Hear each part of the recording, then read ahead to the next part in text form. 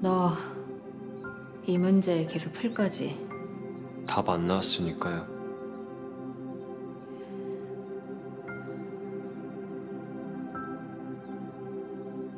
하나만 약속해 줄래?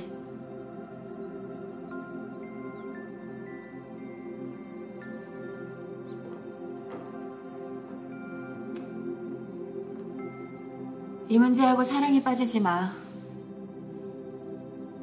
수학자의 삶은 어떤 문제를 푼다고 행복해지는 것도 아니고 못 푼다고 불행해지는 것도 아니야. 그럼 왜 수학자들은 계속 풀고 증명을 해요? 문제를 푸는 동안에 떨림, 흥분, 불안.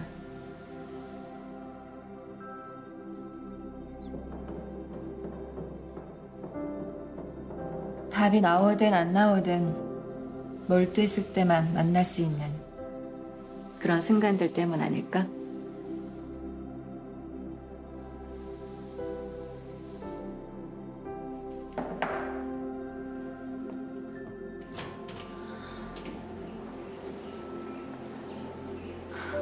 날 샜네. 문제 지우려고 나온 거였는데. 왜요?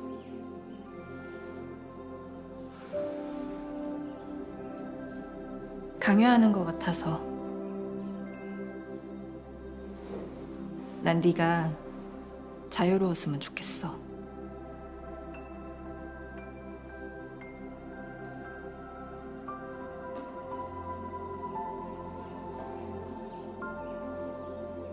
이거 찾았어요.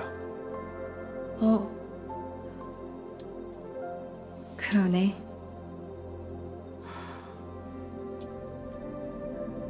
고마워.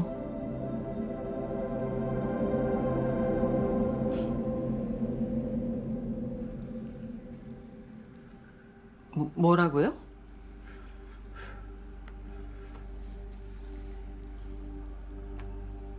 같이 밤을 보냈습니다. 지은수 선생이랑 그 학생이요. 알아보라고 하신 그 학생인 것 같습니다. 2학년 8번 백승유. 백승유 학생 기록부 가져오세요. 네, 알겠습니다.